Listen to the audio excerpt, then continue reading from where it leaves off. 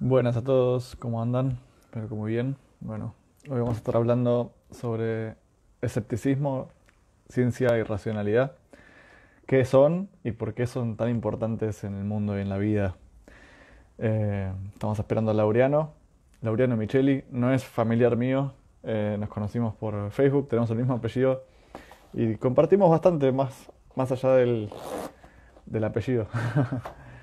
Eh, son, bueno, nada, ahora vamos a hablar sobre estos temas. Y bueno, este es el último episodio del podcast, al menos por ahora. Eh, voy a llamarlo el último episodio de la primera temporada. Porque necesito enfocarme en la tienda y en, el emprendimiento que estoy haciendo, una tienda online de consumo responsable. Eh, así que bueno, decidí que por ahora es mejor dedicarme de lleno a eso. Y bueno, ahora estamos esperando a Laureano, ahí le voy a escribir. Eh, unite. Transmite en vivo con.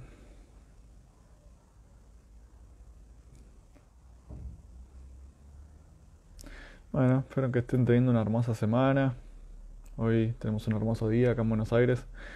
En cuanto al sol, hace frío, pero está soleado. Ahí está Laureano. Bienvenido. y acá se está uniendo Laureano.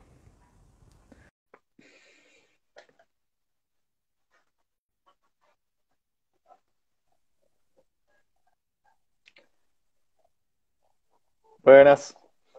Hola, ¿cómo ¿Me va? escuchas bien vos? Sí, a ver, para.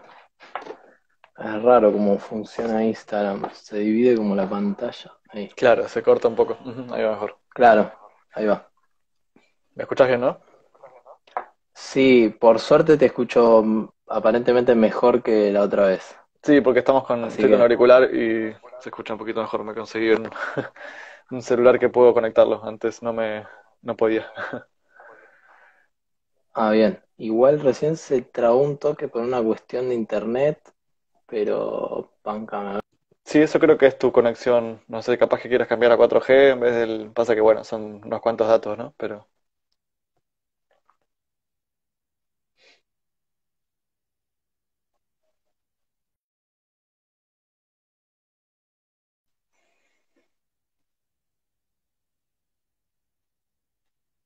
bueno, ahí estamos teniendo un problema de conexión con Laureano.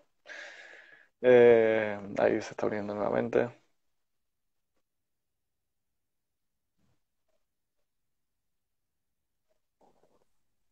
A ver ahora. A ver ahora, sí, con el que pasaste a datos o... Claro, pasé a datos porque el wifi acá no me llega bien. Dale, está bien. Mientras tengas suficientes datos, estamos. Sí, sí, sí, tengo, tengo. Buenísimo. Bueno, bienvenido. Eh, acá están uniéndose algunos más. ¿Cómo andas? ¿Todo bien? ¿Qué, qué, qué onda este día? Frío pero soleado. Mala, hace un resfrío, recién me puse un busito porque me estaba cagando de frío. Soy una persona bastante friolenta, como te dije la otra vez. Eh, pero sí, hace un re lindo día, ¿no? Sí, yo estuve sol- solcito un rato, está, estuvo lindo. Recién me senté un ratito antes del podcast y ahora acá estamos. Hmm. Sí, yo ahora después de esto voy a, voy a pegar una bicicleteada aprovechando. Ahí va, bien ahí.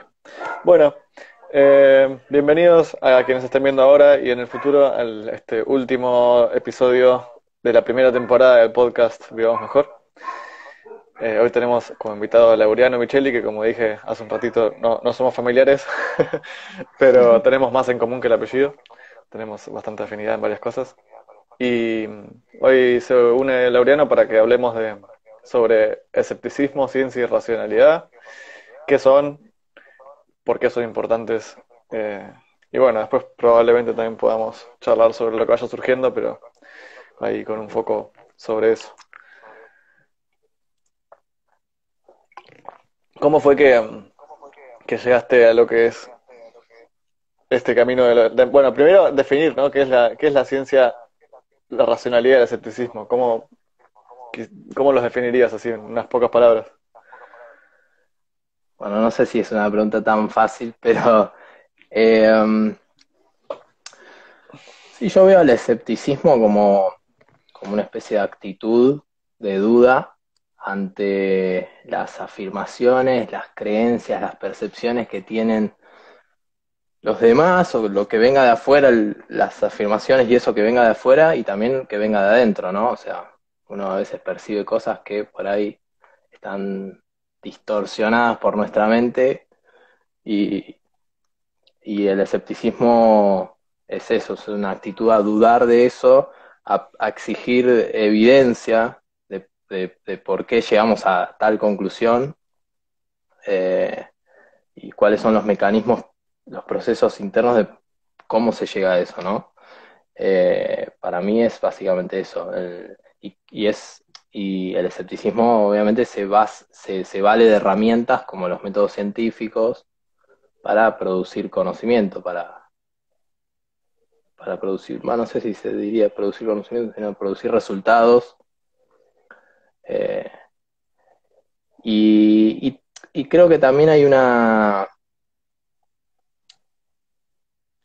Bueno, en su momento, por lo que entiendo, una escuela una corriente filosófica dentro del, del escepticismo, eh, le daba más importancia a los objetivos psicológicos del escepticismo, que es básicamente como encontrar un estado de eh, tranquilidad mental, de suspensión del juicio, de que eso conlleva también felicidad, ¿no? O sea, eh, sentirse bien, eh, y que después, bueno, se fue tirando un poco abajo esas, esas cuestiones porque tal vez se creía de forma ideal, ¿no? Como suspender el juicio completamente sobre algo y no sé si realmente eso se puede, porque nuestra mente siempre está inclinándose para algunas creencias, por, por algunas conclusiones, eh, y vos no podés mantener, o me parece no se puede mantener eh, lo que se llama el epogé, la, suspensión del juicio completa hacia algo. Eh, vos podés definirte por ahí como agnóstico en el caso de, la creencia de Dios, pero siempre vas a tener alguna inclinación de creer que por ahí Dios existe o de creer que Dios no existe. Es medio difícil estar en un estado completo de, equilibrio en el que no puedas eh, decantarte, aunque sea un poco, por una o por otra, ¿no? Bueno, y después la ciencia es un... No sé cómo definir realmente la ciencia. Yo, como te dije antes, eh, me considero como una especie, entre comillas, pseudo-escéptico, eh, en el sentido de que, eh, y no, no, no, lo digo por, por, una baja autoestima ni nada por el estilo, sino por, por honestidad, por reconocer que soy una persona que no ha logrado estudiar lo suficiente algunas cosas, no, no tengo una base importante de, educación. Eh, y a veces le doy lugar a la intuición, a dejarme llevar por gente que, considero que sabe mucho del tema. Eh, obviamente siempre estoy abierto a, que, a escuchar otra posición distinta a esa y, que, y, observar un debate entre esas personas y, ir sacando mis propias conclusiones, ¿no? Claro, bueno, honestidad intelectual vendría a ser eso, que me parece justamente parte de lo que es el escepticismo, ¿no? Como que Está bien puede estar la, intuición ahí un toque, pero sabes que es intuición, no es que confías ciegamente en esa intuición, sino que sabes que también tiene su... Eso también claro, es Claro, es que tal cual, es que el escepticismo es eso, darle lugar siempre a la duda, saber que, que podés estar más o menos convencido de algo, pero, pero siempre darle lugar a la duda y que si viene alguien y te dice, che, te equivocaste por esto y aquello, y lo revisás y tiene sentido, y bueno, aceptarlo, o sea, hay mucho, mucha dolencia a veces en el aceptar eh, que uno se equivoca, como que a la gente no le gusta, a todos no nos gusta en algún sentido, pero creo que eh, está bueno a veces contradecir un poco las emociones en ese aspecto y que darles la suficiente relevancia como para que eh, determinen algo, ¿no? Determinen una creencia sobre algo, o sea, Sí, por eso a mí me parece tan importante, por eso quería hacer un episodio sobre esto, ¿no? Porque,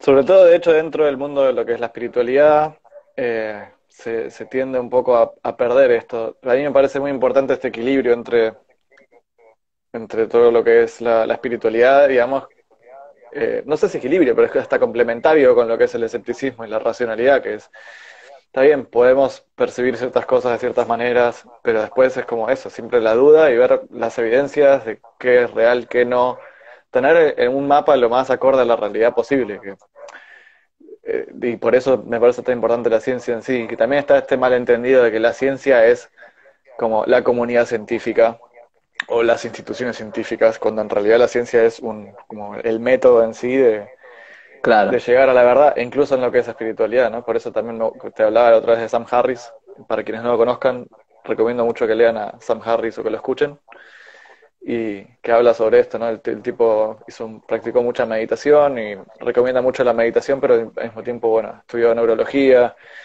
eh, y está siempre promoviendo lo que es el dudar de todo y tener la visión lo más objetiva posible respecto a la realidad. Sí, sí, eh, yo creo que sí se pueden, son cosas que se pueden complementar dependiendo, obvio, también depende cómo, cómo definamos espiritualidad y demás, pero eh, creo que dentro de la espiritualidad es como que, no sé, uno dentro de los fines máximos es eh, eh, estar bien, ¿no? desarrollar la conciencia y, y demás. El tema es que cuando a veces se prepondera eso ante el conocimiento, por ahí a veces eh, darse cuenta que te equivocaste en algo eh, o dudar implica cierta incomodidad y eso te hace sentir mal. Y cuando el objetivo es sentirse bien, es como que hay que tener cuidado con, no caer en esas distorsiones mentales de, bueno, si me siento mal lo, lo, tiro, lo, lo, dejo afuera eh, y por ahí te estás perdiendo de, aproximarte más a, una verdad que por ahí en el momento duele es equivocarse o no entender algo, no tener certeza sobre algo, pero por ahí a largo plazo es, eh, para mí es beneficioso buscar más la verdad que el sentirse bien, digamos. Claro, sí, bueno, debería ser esta típica metáfora de lo que es la pastilla azul o la roja en alguna forma, ¿no? Como ser feliz en la ignorancia pensando que esa es la realidad, sabiendo que no lo es en el fondo o que tal vez no lo sea, o conocer la realidad aunque sea dura, pero después con esa realidad, primero que uno va a estar mucho más tranquilo de, ok, estoy al menos un poco más seguro de que esto es más real. Y por otro lado, poder operar más sobre la realidad de una forma más práctica, ¿no? Porque si, si estamos pensando que la realidad es de una forma y es de otra, también eso termina perjudicándonos, incluso a nivel práctico. Más allá de lo emocional también. Y es que, o sea, el, a la larga, yo creo que una sociedad que tiene un nivel importante de escepticismo, eh, le termina siendo muy práctico, muy útil y logra una mejor sociedad, una que progresa, porque eh, no se come el cuento del primer político que dice algo, porque busca eh, métodos eficaces de, ordenamiento social, de ordenamiento económico. Es como que a la larga es súper útil el escepticismo.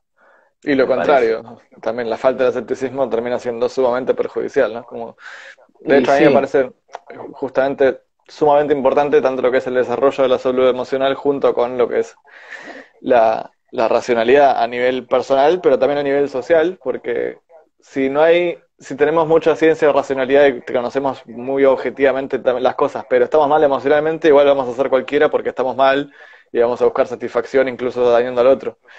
Y si, Tal cual. Sí, y, y, lo mismo al revés, o sea, si nos falta, si estamos re bien, pero nos falta información o, estamos eh, pensando que las cosas son de una manera, pero son de otra, terminamos también haciendo cualquiera porque pensamos que estamos haciendo el bien, pero estamos haciendo cosas que son perjudiciales. sí, tal cual. Em, vos me habías preguntado en un momento cómo, cómo, cómo, entré a este mundo, digamos, de alguna manera. Eh, em, para mí fue un punto clave. O sea, siempre, siempre me reconocí a alguien que era de dudar. Obviamente tuve mis aferraciones a, a creencias y tuve mis dogmas y las tengo y las voy a tener porque somos, somos seres imperfectos y tenemos siempre caemos, eh, no, podemos pretender ser escépticos al 100% perfectos y demás, pero siempre, siempre fui alguien de dudar, de cuestionar, pero por ahí no tenía las bases y no sabía que a eso se le llamaba escepticismo, hasta que básicamente le agradezco en parte a, esta herramienta llamada Facebook, mientras que al mismo tiempo la, odio porque por, sus censuras y por su forma de, creo que es hora de que se reemplace esa red social o se mejore de alguna manera porque hay mucha censura y, demás. Pero eh, gracias a Facebook fue que empecé a conocer a un montón de personas, eh, grupos y demás que me, ayudaron a entender un poco más todo este mundo y a, que aprendo hasta el día de hoy cada vez que veo publicaciones y, leo debates y demás. Eh, y diría que fue principalmente gracias a Matt Suárez Holz, que no sé si lo conoces, eh, que, fue el que fue una charla que tuvimos una vez y, sí, me, pasó su blog, que tiene, tiene Parder Sign, el blog de él, junto con otros. También tiene La Palabra de Nadie, que es un blog de él. Y ahora tiene proyectos como Diálogos, que en YouTube, que hace entrevistas a distintos personajes de economía, de política, de ciencia, de filosofía. Eh, y ahí con el tiempo fui descubriendo esos proyectos, feminismo científico, escepticismo científico, es el grupo de Matt también, y todo un, conjunto de personas que me ayudaron a, eso, a entender un poco más todo esto. Ahí va. Sí, sí, sí, yo personalmente eh, siempre desde chico empecé como a debatir, viste, y esas cosas, y naturalmente con lo que son los debates también uno va generando el poder, con debatir mismo, uno si debate con gente que eh, sobre cualquier tema, básicamente uno va pudiendo desarrollar esa capacidad de empezar a distinguir lo que son, sobre todo lo que es el valor de, los argumentos y la evidencia, ¿no? Termina todo llevando a eso. Que hay una frase de Sam Harris que me encanta que dice que si una persona en un debate no valora eh, lo que son los, la lógica o la evidencia, entonces es imposible hablar y, y, termina siendo así, ¿no? Como en cuanto a lo que es un debate. Y sí, porque la eh, porque eso plantea una especie de idioma en el que nos podemos comunicar. Si, si, el, si el idioma no existe, si la lógica no existe, cada quien dice lo que quiere, hace lo que quiere, funciona. Eh, para él la realidad funciona como, como, como se le cante, y entonces no hay, no hay un idioma en el que podamos, en el que sea de base para entendernos, ¿no? O sea, si no, si no es lógico, es eh, invento lo que quiero y digo lo que quiero y es así porque sí y punto. o me invento una propia lógica como lo ha hecho eh, el psicoanálisis. Creo que Lacan fue el que propuso como, eh, como una epistemología diferente y se armaba su propia lógica metiendo matemática, que esto y aquello, y se inventaba cualquier cosa que no servía para nada y... Y termina siendo un quilombo sobre todo cuando después hay lectores o seguidores de esas personas que, adoptan eso. También pasa mucho en la espiritualidad y en otros ámbitos. Creo que cualquier ámbito pasa, pero que, también algún autor puede agarrar una palabra y decir, no, de una forma muy arbitraria decir esta palabra en realidad no significa esto, significa esto otro. Y después uno se encuentra gente que dice, no, eso significa tal otra cosa. Es como, pero a partir de que, en vez de un... A mí me encanta también usar, y esto me parece importante para lo que son los debates, ¿no? Como que los debates sean siempre de una forma muy práctica, o sea, usar las palabras, bueno, esto ahí aparece la importancia de la semántica, que muchísimos debates a veces hay dos personas diciendo lo mismo con distintas palabras y están en realidad debatiendo algo que están de acuerdo pero ni se dan cuenta.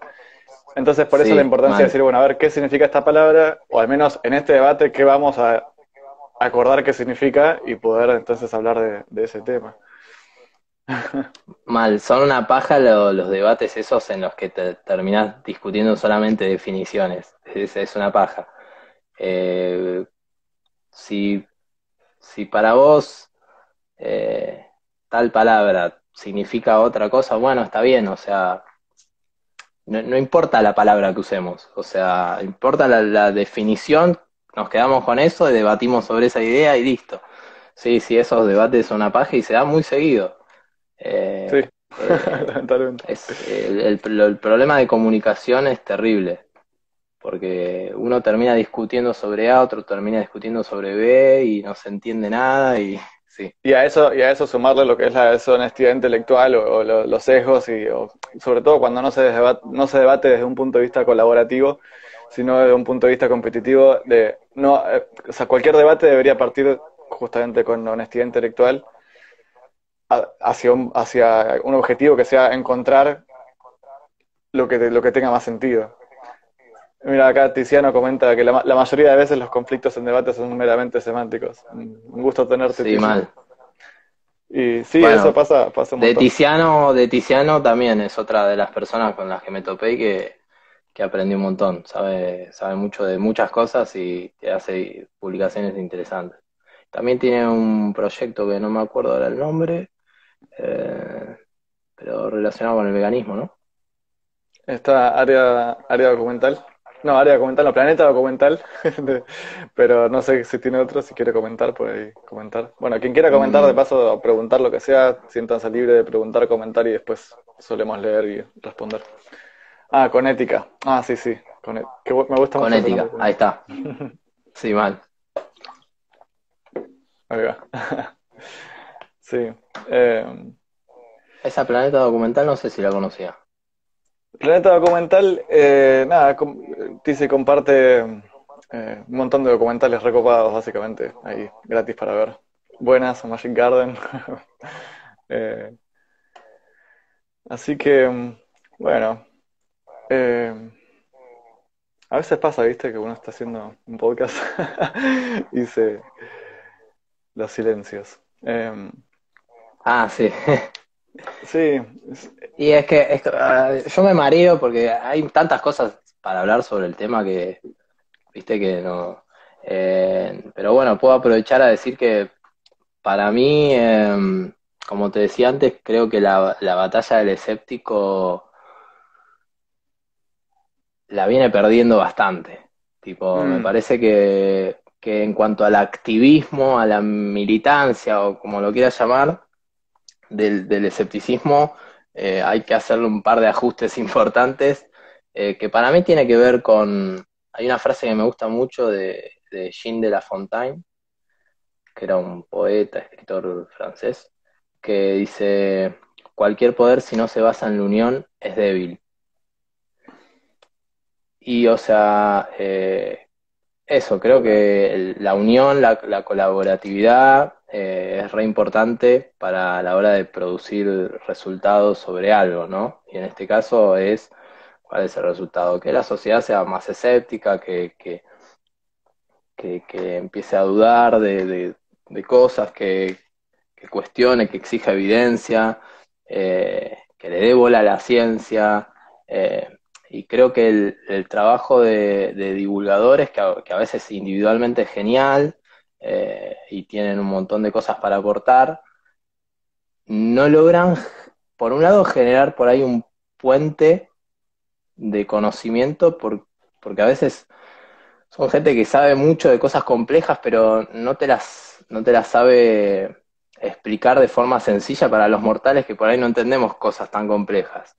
Entonces, eh, creo que por un lado se falla en eso, en algunos casos, y en otro, esto de, no tener eh, proyectos por ahí un poco grandes en colaboración con, varios, donde, donde bombardeemos a la gente de, todo esto, ¿no? De tener, tener una página, eh, eh, trabajar artículos, escribir libros, hacer, bueno, ahora se le da mucha bola a todo esto, lo audiovisual, lo, videos de YouTube, hacerlos y hay que, hay que lograr que sea bien lo más atractivo posible, sí. Que sea, que sea eso, muy claro y al mismo tiempo atractivo, ¿no? Justamente. Igual no te parece que está habiendo un aumento de lo que es el, el todo el tema de racionalidad, escepticismo y ciencia. Creo que gracias justamente también en las redes hay canales que quizás no sean siempre vamos a tener algo para criticar, ¿no? A, cada creador de contenido, pero me parece que se, se, está expandiendo mucho más y creo que es igual un paso que nos... Creo que estamos mejor que nunca en eso en cuanto a la historia de la humanidad. Ahora, por supuesto, siento que nos falta mucho, pero me parece que somos más racionales que antes en general y nos cuesta mucho pasar a ser racionales porque también incluye, o sea, es como parte de nuestra evolución, me parece también, ¿no? Como el desarrollo de salir de toda la parte eh, tan sesgada, mística de lo que justamente, como decías, nos hace sentir bien y pasar a ver la realidad, aunque no sea lo más agradable. Eh, es como también eso, cuesta, porque cuesta porque, porque duele, porque incomoda. Entonces creo que es un paso lento que estamos dando. Pero ¿te parece que estamos mejor o peor que antes?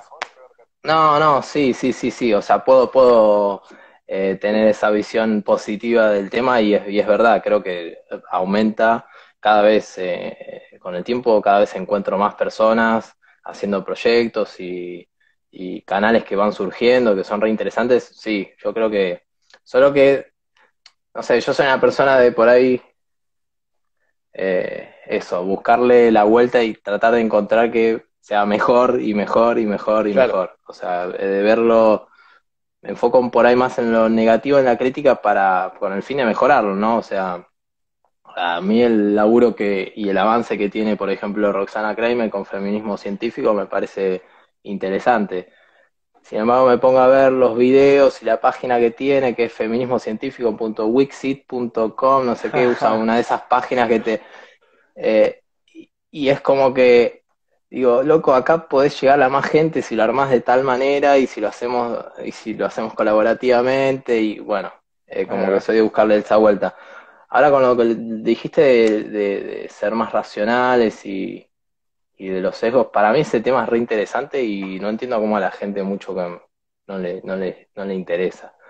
Eh, viste que cuando debatís, o sea, yo entiendo que estratégicamente no te sirve mencionar, che, cometiste una falacia acá, incurriste en esto, porque la, gente no te da bola, viste, no, no le da bola a eso. No, no es estratégico para, sino que por ahí es mejor cuestionar la estructura lógica de su argumento y, demás, y explicarle por qué se equivocó acá. pero para mí, o sea, todo el mundo lo que es las falacias, los sesgos cognitivos y eso es re interesante cuando te pones a leer y porque te, descubrís un poco a vos mismo de cómo funciona tu mente y cómo distorsionas las cosas y eso te permite no eliminar los sesgos porque los sesgos son algo como como propios del ser humano, o sea, y, son útiles. Eh, por lo que entiendo, el, está el, heurístico, que es básicamente el sesgo cognitivo, pero el heurístico son como atajos mentales que, tiene nuestro cerebro que nos permite sobrevivir, nos permite solucionar problemas de forma rápida. En aquel entonces, si veíamos una sombra en el, en el pastito, por ahí nuestro heurístico saltaba y decía, el, atajo mental era, es un tigre que me va a comer, me salgo corriendo y, eso te permitía salvarte, ¿no? Eh, lo que ocurre es que tiene ese atajo mental al ser rápido, al ser, eh, eh, al ser bien rápido así, podés caer en el error de de, equivocarte, ¿no? De que al final era un conejito que estaba ahí, era una sombra de un conejo. Eh, y ahí es cuando se le denomina por ahí sesgo cognitivo. Eh, pero sí, tenemos como un montón de sesgos que se han estudiado, clasificados, que igual se solapan entre sí y demás, y que es un mundo para mí re interesante. Eh, y nada, no, no, no, los podemos eliminar, pero podemos reflexionar sobre las conclusiones que hacemos y ver si por ahí nos equivocamos vamos a intentar pensar un poco lento y no... Claro, eso es lo que decías, slow thinker. claro, y porque a veces creo que también juega en contra mucho la ansiedad que tiene uno, ¿viste? Eso de querer resolver un problema rápido y bueno, eh, la primer idea que se me ocurre es esta y pum, me quedo ahí. Y no, hay veces que está bueno masticar y masticar las cosas eh, para... Y siempre, bueno, ¿no? Dejar un, lugar a la duda, que por ahí aún masticándolo todo el tiempo, por ahí me equivoco igual. Sí, es que es increíble cómo no nos gusta esa sensación de no saber, porque bueno, de hecho perdemos... La incertidumbre. según lo que, hasta donde sé, el saber también nos genera dopamina, ¿no? Como que la, la dopamina también está influyendo. Entonces, si no sabemos algo, nos hace sentir mal y es como, no, bueno, voy a, voy a decir que es así, voy a pensar que es así, así ya me siento más tranquilo. eh, sí, mal. Ahí, ahí Tiziano sí dijo eso, sí. Sí, yo también creo que... Estudiando y aprendiendo los sesgos podemos reducirlos, sí. Eh, significativamente. Sí, la idea es minimizarlos. Eh, por una cuestión, sí, de seguir.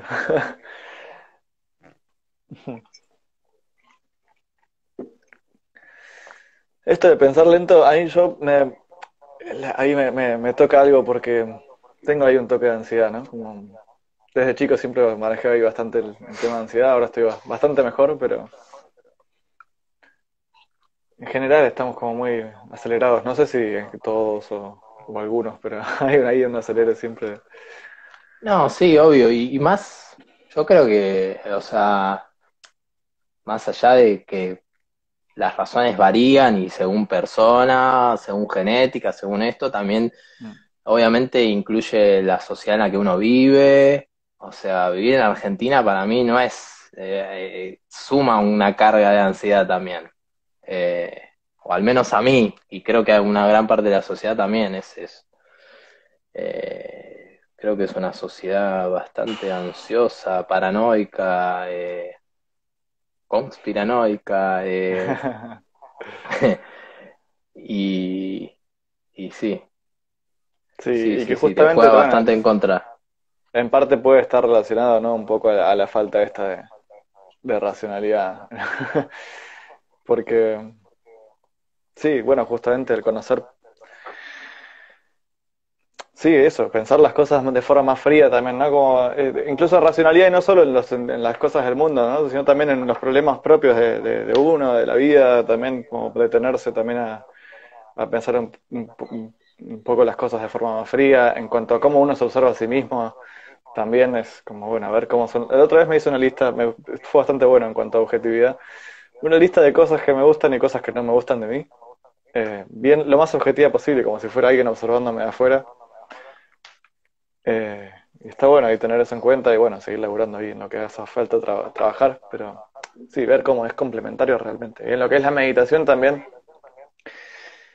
eh, o en las prácticas espirituales, justamente la meditación me gusta, o al menos ciertas técnicas de meditación, me gusta que justamente proponen observar las cosas de la forma más objetiva posible, como si está viendo mm. una sensación física incómoda, solamente observar esa sensación física y no y decir, bueno, esta es la sensación que hay en este momento, de no estar como intentando modificar o distorsionar la realidad, sino esto es lo que está sucediendo en este momento, observar el fenómeno mente-materia, que de alguna forma también es, parte de, lo que es ciencia, ¿no? Y entonces solo sacar conclusiones a partir de lo que uno va observando, por supuesto después se complementa con lo que es el, los estudios científicos sobre meditación y sobre la mente y demás, que está buenísimo también. Sí, sí, son cosas que se pueden estudiar y se estudian y, producen resultados. Yo no sé mucho de ese tema. Tengo, por lo que tengo entendido, según las publicaciones que vi de, de no sé si lo conoces, Emanuel Frasquet. Sí.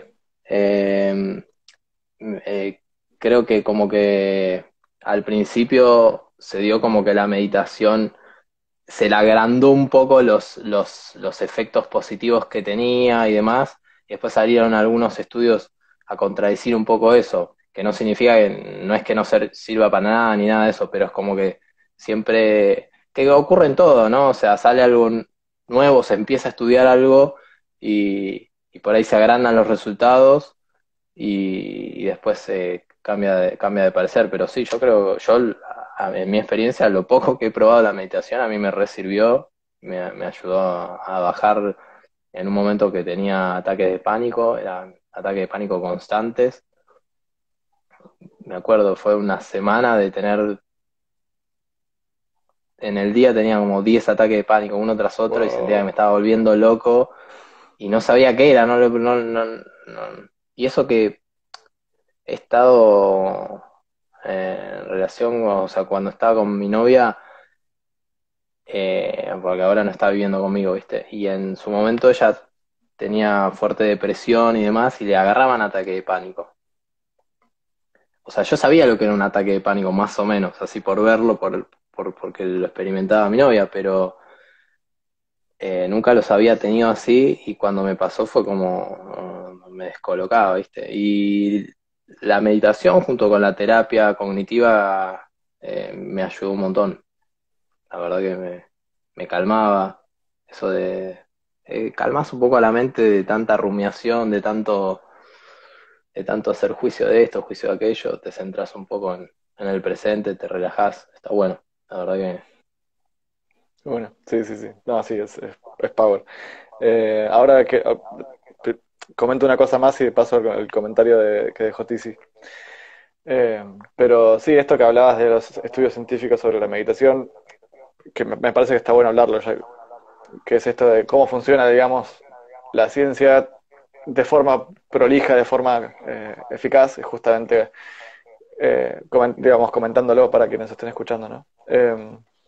Que hay estudios y después se revisan esos estudios de la forma también más escepticismo también ante los estudios y ver cómo está hecho el estudio y que haya revisión de pares en lo posible y después lo que son los meta-análisis, o sea, revisión de pares sería que, otros eh, otros colegas también revisen el estudio, que repliquen el estudio.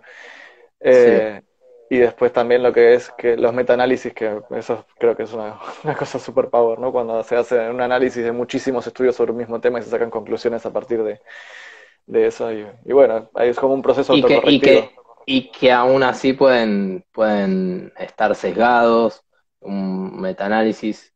Eh, yo eh, estudiando un poco el tema del aborto, por ejemplo, eh, me topé con una mina que ahora no me acuerdo el nombre, que hablaba de este de este síndrome post-aborto. Eh, Mira.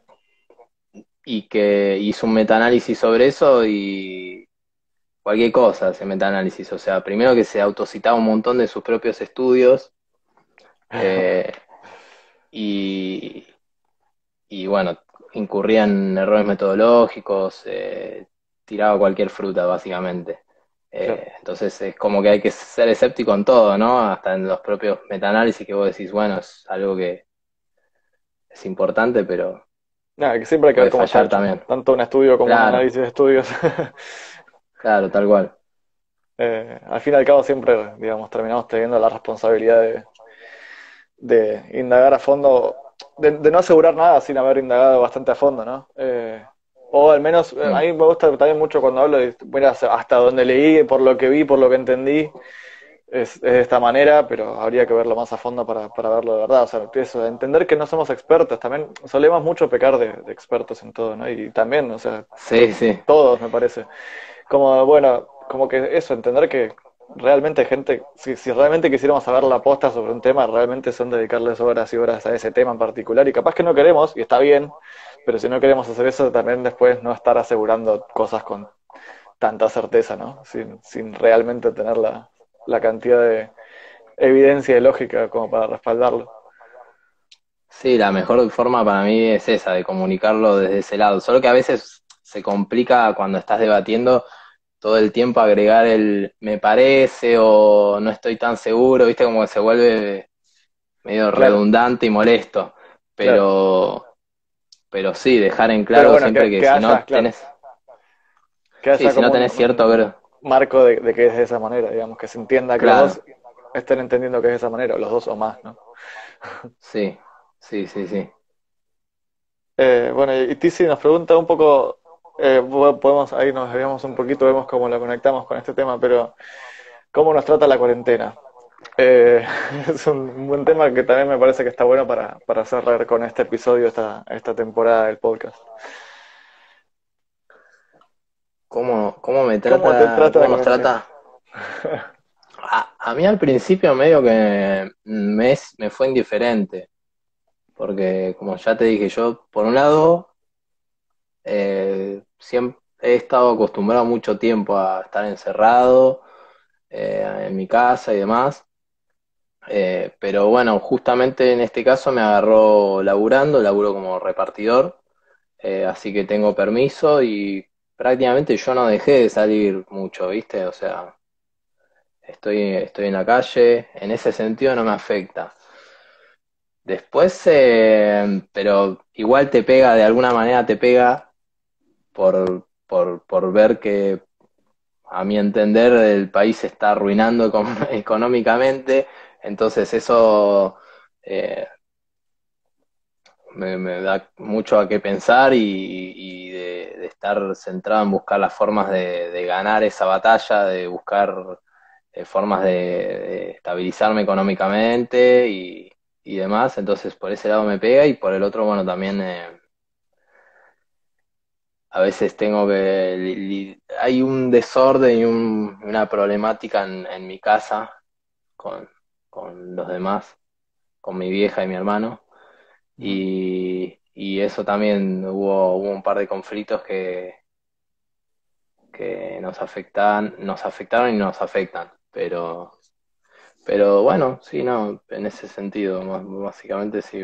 Por un lado no me jode tanto, por el otro sí. Sí, para mí está siendo un proceso es, un tema. Bastante profundo, de hecho, más de lo que esperaba incluso, ¿no? De alguna manera. Bueno, también está siendo mucho más largo de lo que quizás hubiéramos imaginado.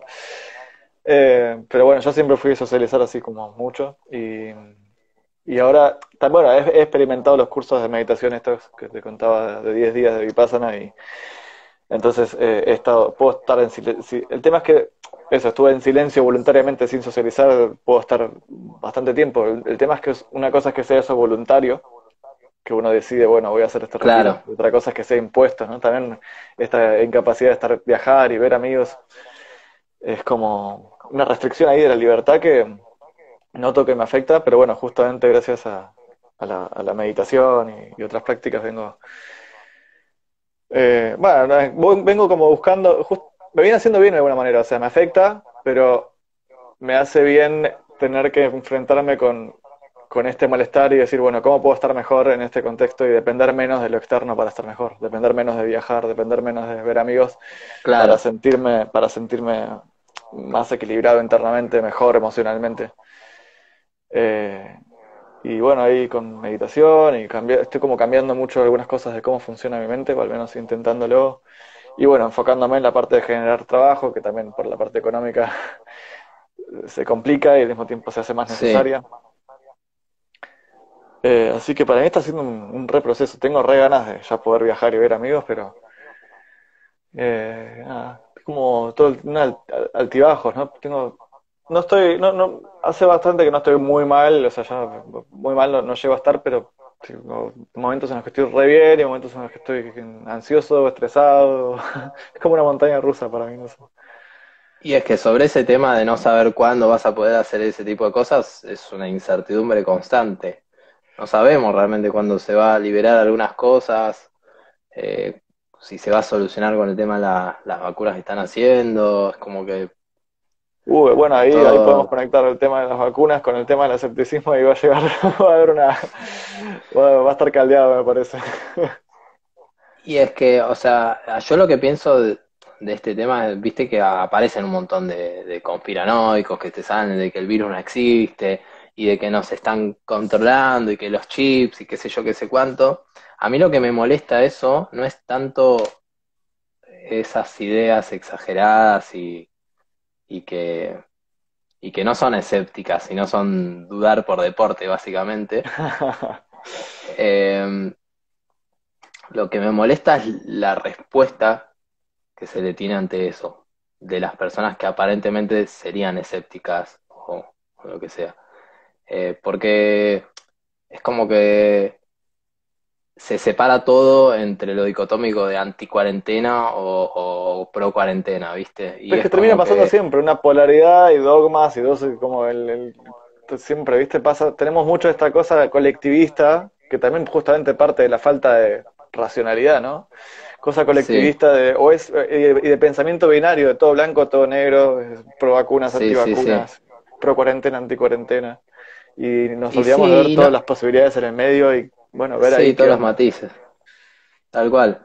Eh, los, los anti-cuarentena, no todos son los que piensan que, que hay que tomar cloro, que, o, o que es un invento el virus o lo que sea. Simplemente lo tienen por distintas razones. Es como que, sí, siempre capsulamos a este es anti-cuarentena y le asumimos las razones por las que es, en vez de entrar en el debate, ¿viste? A mí siempre te encasillan en alguno de, los dos y capaz que no entras ni en ninguno de los dos, o sea, yo no me considero ni anti-cuarentena ni pro-cuarentena, me parece, me parece que, eh, o sea, tiene sentido el, resguardar a la gente, tiene sentido la idea de la cuarentena en sí, en cierto modo, solo que el cómo se emplea, el, en qué otras medidas paralelas al tema se hacen y un montón de cosas y detalles más, que es donde se debería enfocar el debate. Para mí acá el gobierno lo que hizo mal fue eso. El, gobierno y los medios en general como que se centran siempre en cuánto va a durar la cuarentena, cómo se va a flexibilizar, qué esto y aquello, en vez de centrarse por ahí más en los protocolos eh, de higiene que yo veo con, continuamente fallan y fallan los que los que hacen comidas, por ejemplo.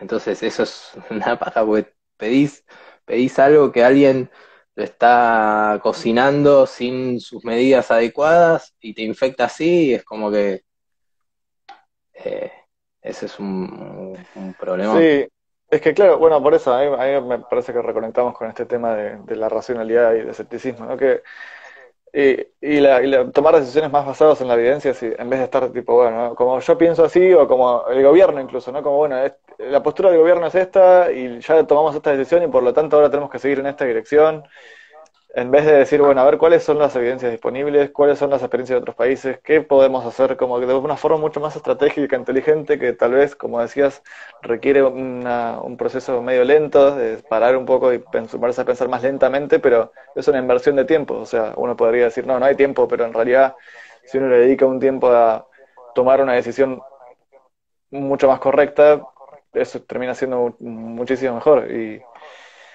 a mí me sorprende que, que tantos países toman decisiones tan diferentes cuando estamos, o sea, es como, bueno, lo mismo a nivel económico, ¿no? En vez de estar, eso, o sea, la falta de racionalidad es tan grande ¿eh? que llega a las cúpulas de poder más, eh, o sea, que todos los organismos de poder están tomando también muchas decisiones sin racionalidad, sin ciencia, y eso es una locura, que es como, ojalá pronto lleguemos a un punto en el que, aunque todavía la mayoría de la población no se maneja de forma muy racional, al menos los los que estén en el poder se manejen de una forma un poco más racional y más basada en la evidencia, ¿no? Porque es como tenemos toda evidencia disponible que muestra una cosa, que muestra otra, bueno, empecemos a, a seguir un poco eso, decir, bueno, a ver, qué funciona mejor, qué funciona peor.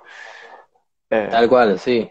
Y lo que pasa es que a veces eh, incluso se hace ese análisis, pero de una forma eh, distorsionada, sin conocimiento adecuado, por ejemplo, no sé, o sea, hay, hay gente que analiza eso, dice, bueno, agarro algunos países y veo qué, hicieron y si les fue bien, lo tomo.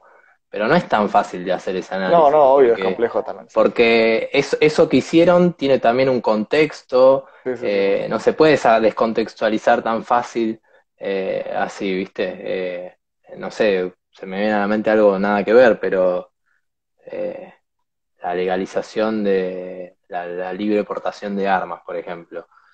Eh, a veces te, muestran y te dicen que en tal país la libre portación de armas sirvió porque trajo estos beneficios o lo que sea, y después también tenés otros ejemplos que no, toman en cuenta, como por ejemplo, no sé, Japón, que tiene prohibido eh, la libre portación y tiene una bajísima alta de, eh, una baja tasa de homicidios.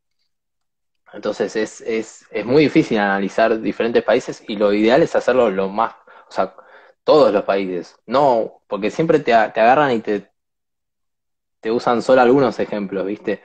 O mismo para cuestionarte lo de, lo de la cuarentena. Te dicen, ah, vos qué crees, que seamos como Brasil o como Estados Unidos, y no son los únicos ejemplos que, que funcionaron, que, que, que no aplicaron cuarentenas súper restrictivas, ¿viste? Claro, sí, sí, de hecho hay otros que funcionan muy bien. Sí, bueno, me parece que está bueno eso, empezar a, dejar una conclusión de, que realmente está buenísimo, tanto a nivel personal como a nivel social, es súper clave empezar a, a ejercer y a ejercitar la capacidad de pensar más racionalmente las cosas eh, y salirse Y aceptar cuando uno no sabe algo. Sí, y entender que, uno no... Y, de antemano, antes de aceptar que uno no sabe, es eh, entender que quizás uno esté equivocado. Eso pasa mucho también en los debates, ¿viste? Cuando uno dice algo y alguien te, te aproxima, o eso, una persona aproxima a otra diciendo, asumiendo que la otra persona está diciendo lo que está diciendo porque es tonta o porque es mala. No porque quizás tenga información que la otra no tiene, ¿viste? Quizás. Eso, para mí siempre es eso. Es como, mira, esta persona está diciendo, y a mí me pasó este proceso personal de, y ahí empecé a cambiar un montón de posturas, ¿no? Por ejemplo, en lo, en lo económico y lo político sobre todo. En un momento empecé a decir, a ver, para, ¿por qué estas personas están diciendo esto con lo que no estoy de acuerdo?